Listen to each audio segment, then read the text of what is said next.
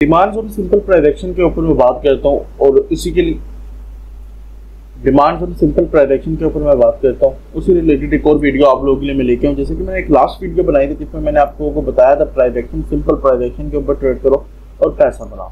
वही same strategy के बारे में मैं आपको थोड़े से गाइड करता हूँ यहाँ पे। फ़र्स्ट ऑफ़ ऑल हमने मार्केट में देखा, यहाँ से मार्केट बहुत ज़्यादा जो है वो अप की तरफ़ गई हुई है। यहाँ से डाउन की तरफ़ आई हुई है अप की तरफ़ गई हुई है डाउन की तरफ़ आई हुई है अप की तरफ़ गई हुई है। ठीक है?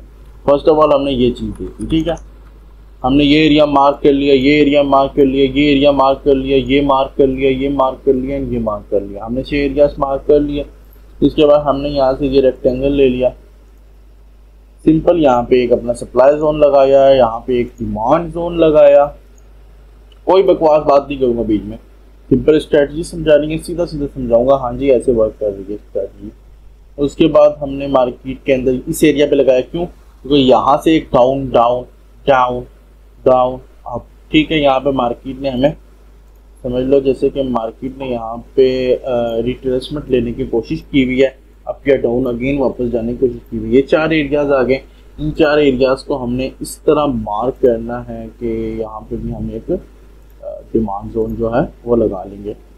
सिंपल हमने यहाँ पे ये हाई से पकड़ा, ठीक है, और यहाँ तक डिमांड जोन लगा दिया। जब हमारे डिमांड जोन लग गया मैं पीछे के मूव के बारे में बात नहीं करूँगा। मैं रियल टाइम मूव आपको बताऊँगा। ठीक है, इसको आप गोल्ड के आज के एनालिसिस भी समझ लें।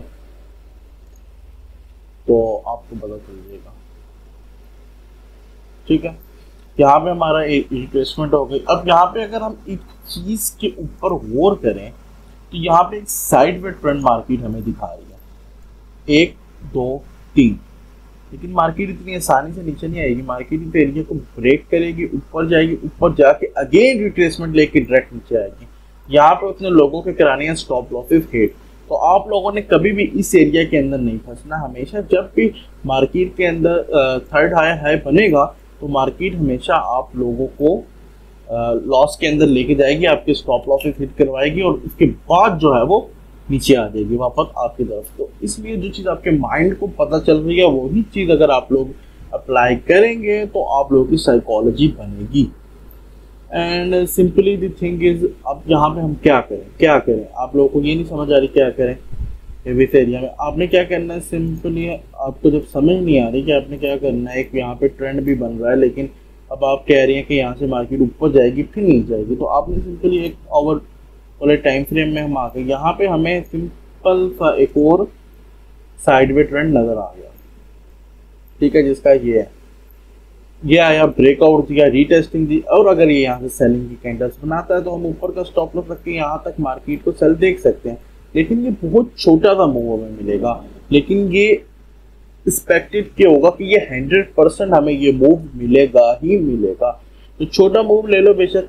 लेकिन हंड्रेड परसेंट लो के आपको कंफर्मेशन तो यार मुझे मूव मिल रहा है मार्केट से पैसा बना सकता हूँ, ना कि बड़े मूव लेने से अपने आप को फंसाओ।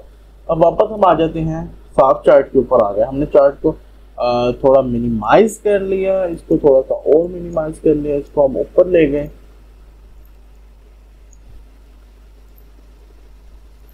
यहाँ से हमने, यहाँ पे एक जोन लगाया। ठीक है? सिंपली यहाँ पे मैं एक जोन लगाया था ना यहाँ पे मैंने। अब मुझे नहीं पता था मार्केट यहाँ पे पहले भी आई हुई सिंपली यहाँ पे एक जोन बन रहा है क्योंकि यहाँ से मार्केट नीचे गिरी है। तो प्राइस एक्शन इतनी ताकत रखता है। ना कि ऑर्डर ब्लॉक दो हायर हाई को देख के ऑर्डर ब्लॉक लगा लो। नहीं भाई, यहाँ पे आप सिंपल डिमांड सप्लाई स्ट्रेटजी के ऊपर काम करो। डेली बेसिस पे आप लोगों को वीडियोस आते रहेंगे। बट यूट्यूब चैनल को सब्सक्राइब करो वीडियो को लाइक कमेंट शेयर डेली साढ़े चार बजे हम लाइव भी आते हैं यूट्यूब पे। आप लोग वहाँ पे भी आ सकते हैं। यहाँ पे भी एक जोन आ रहा है। ठीक है, और सिंपली एक जोन हमने यहाँ पे भी लगा दिया। अब ये आपको जोन करीब करीब लग रहे होंगे, लेकिन ये करीब करीब नहीं है, ये है एच फोर का टाइम फ्रेम जनाब, इधर आप एक छोटे से मूव में भी आपको सौ पिप्स मिल जाते हैं तो इस तरह आप स्विंग ट्रेड्स ले सकते हैं और पैसा बना सकते हैं इजीली अब वही सेम स्ट्रेटजी यहाँ पे हम यूज़ करेंगे। इस एरिया को मार्केट ब्रेक कर दिया बट नीचे नहीं है रीटेस्ट नहीं किया।